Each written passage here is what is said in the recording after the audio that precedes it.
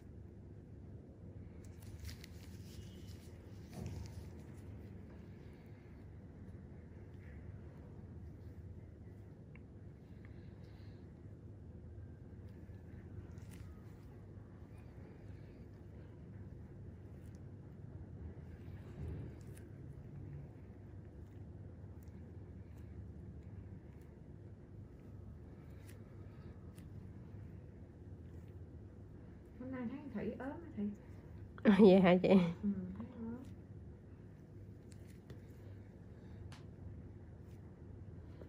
em tướng em nó roi roi đó giờ.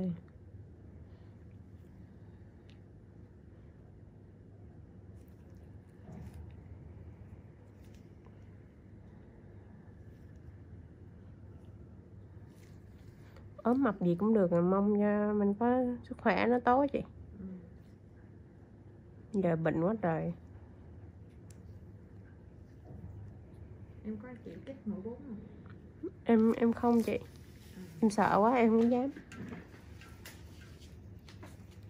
Chị cũng kêu chích mà chị đâu có chịu chích đâu.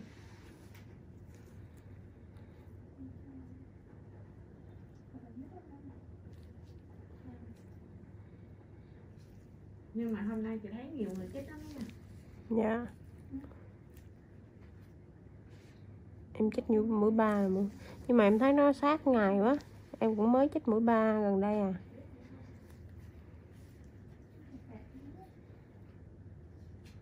Chích mũi ba là em mới chích là tại vì em không chịu chích thôi chứ nếu mà chích mũi ba em cũng chích lâu rồi đúng không?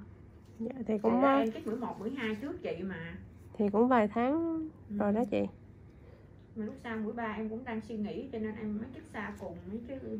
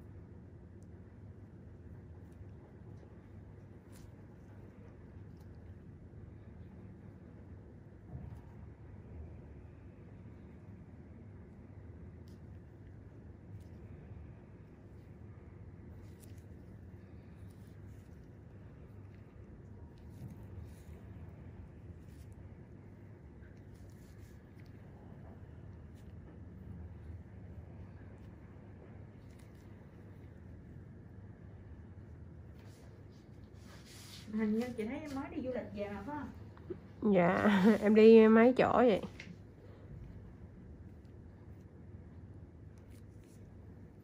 Nghỉ hả? Hay là nhân viên làm em đi? Nhân viên làm chứ không nhân viên làm giỏi lắm chị. Nhân viên em giờ làm xịn ngang ngửa với em á